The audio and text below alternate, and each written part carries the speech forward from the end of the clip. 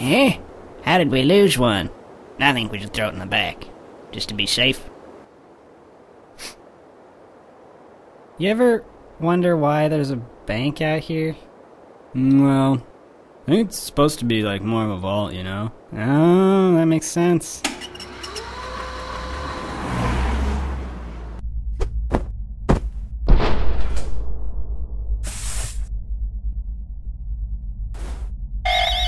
Freeze! Don't move.